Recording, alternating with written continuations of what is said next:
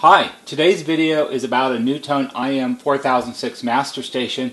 I picked this master station up from a local customer's house. It's a unit that I actually installed 27 years ago when they were building their new home and she contacted me about a week ago and said they were having problems with it and could I please come out and take a look at it and see if we could get it fixed for her. So I said sure why not.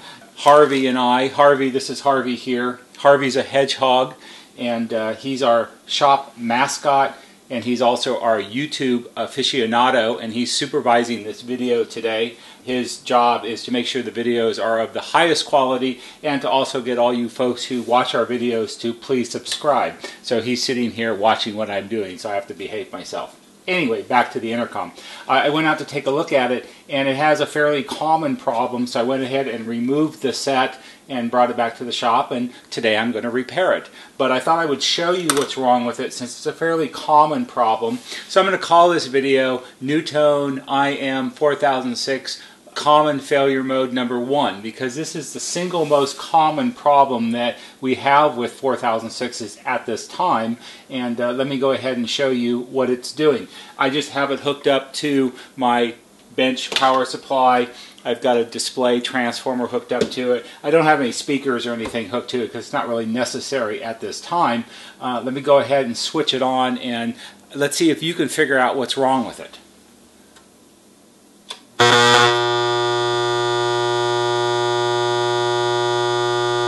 Have you figured it out yet? Can you tell what's wrong with it? I hope that you can. Let me shut it off and talk a little more and then we'll take a little closer look at it. So for those of you who were paying attention, you would have heard the big, giant, massive buzzing sound that it's making.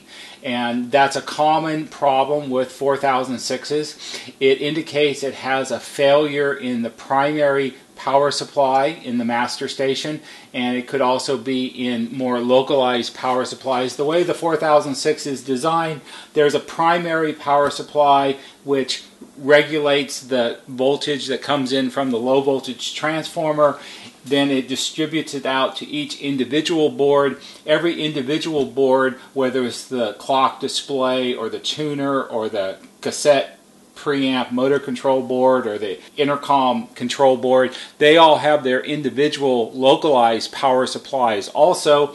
And the main board, the master control board, which is the board behind here with all of the buttons and switches on it, it has actually two different localized power supplies.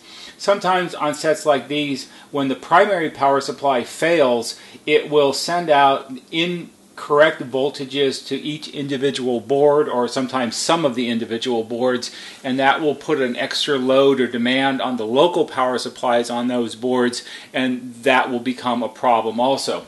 So this is entirely what I call an age related problem. After 27 years there are components in here that have simply run their lifespan and have fail to the point where you get this massive buzzing noise. The way this typically will occur, it's almost always one of two ways. What you have to realize is when this was installed 27 years ago by me, the moment it was connected to power, those component, all the components in the set started to age.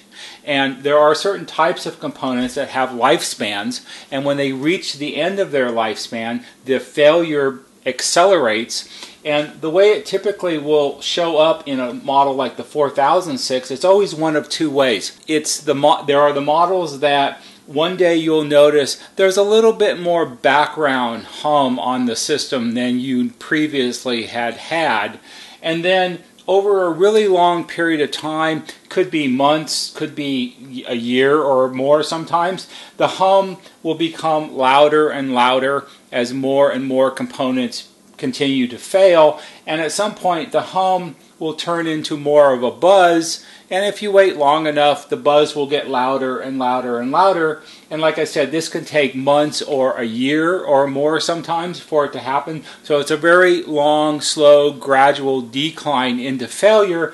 If you wait long enough, and you do what a lot of people do, where the hum or the buzz gets too annoying, they just go around into every room and they turn the volumes down so they can't hear it.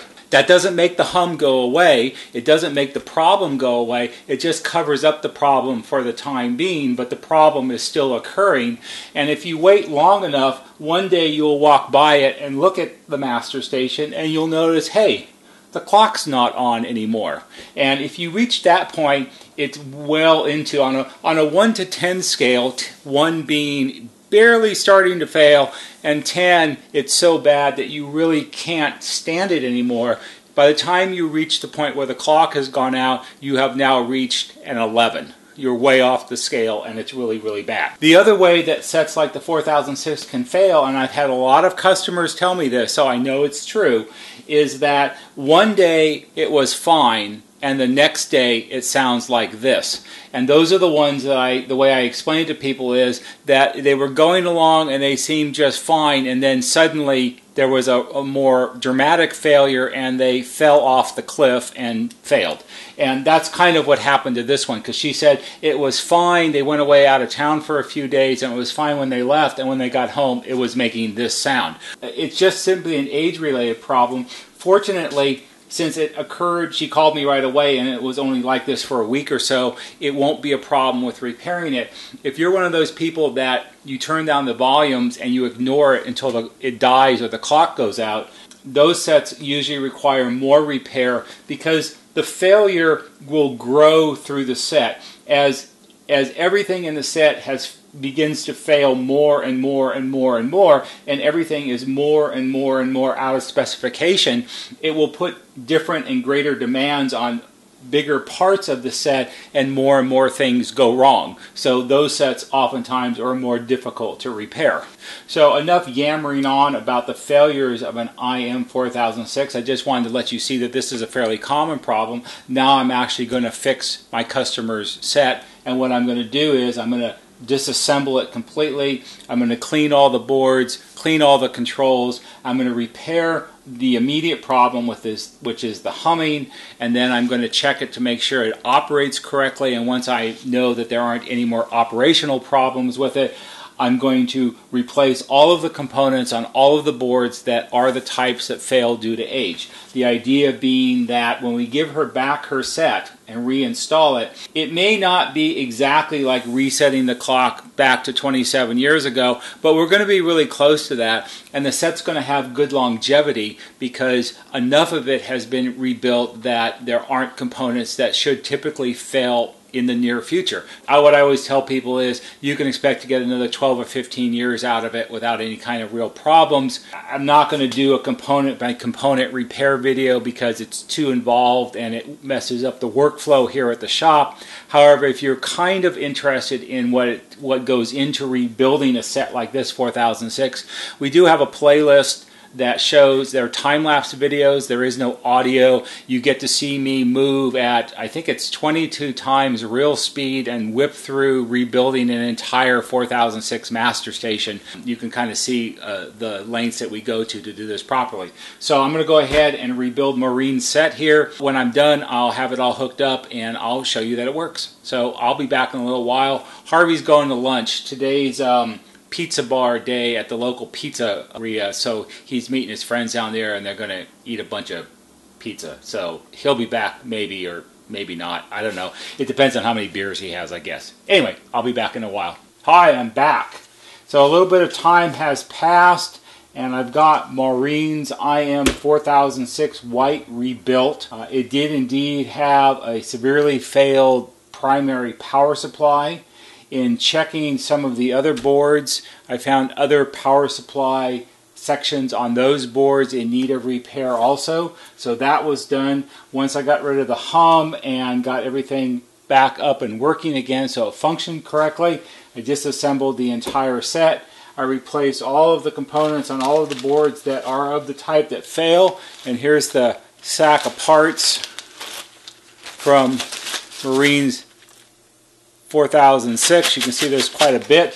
Part of the normal rebuild here is I disassemble, partially disassemble the cassette player, take it out of the out of the faceplate. We clean it, we lube it, we put new belts in it, and rebuild the audio input output board and the motor control board. It's all one circuit board, and get that all put back together. And then once I get it operational, I put a speed tape in it. It's a calibrated tape with a calibrated signal on it and I hook it up to the oscilloscope and set the motor speed so it runs at the right speed so your tapes don't sound weird. This one was about 10% slow, which is slow enough that you can actually hear it when you play music that you listen to all the time, and it's all done and ready to go. I've got it hooked up on a little mini system here, so I've got a single inside station. I've got it hooked up to my door speaker, which is over there on the end of the workbench, mounted on the wall. I've got a chime module here, here, chime module that came out of her set. I won't put it in until I'm ready to uh, button it all up 100%. Let's go ahead and turn it on. If we remember what it was like when I turned it on last time, listen really, really carefully and see if you can tell the difference.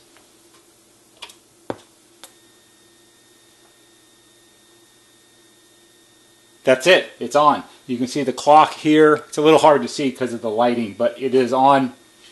We'll go ahead and turn the radio on. A lot of people who have no religious preference, uh, the the one religious point that they have. We'll turn like it down a little bit. Every, everything. I preset the radio stations. That's all the AMs and the FMs.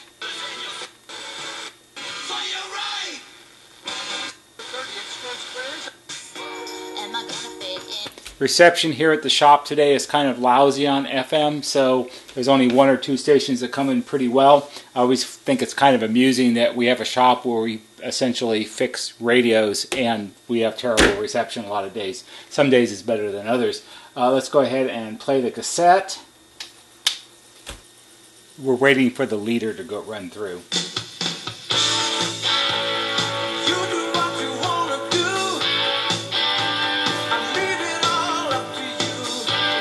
That's all we can play without getting a YouTube strike for copyright violation. Uh, but it does play well. Fast forward works. Rewind. Auto shut off works. Uh, the intercom works properly. We can do inside patio talk. You can hear it come out of the remote speaker. The little bit of howling noise is feedback because the speakers are too close to each other and then we can do uh, inside patio talk, hands-free reply, we have door talk, that works fine. We can ring the doorbell and her installation is only has one button on the front door